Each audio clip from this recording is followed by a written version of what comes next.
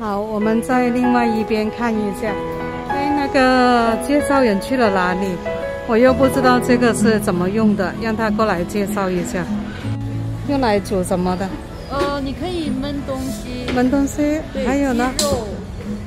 哦，这个呢？这个呢？那个拿来煎。煎那个牛扒、猪扒那种啊？对。哦，哇，好重的哦！它是铁锅来的。然后呃，比如说煮完之后直接清清洗就可以吗？可以。它的颜色会掉吗？这种颜色？不会的。不会掉的。嗯。